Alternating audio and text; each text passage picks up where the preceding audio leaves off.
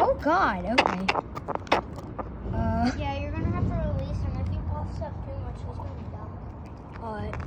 Uh. uh You yeah. need help? Uh. Well, the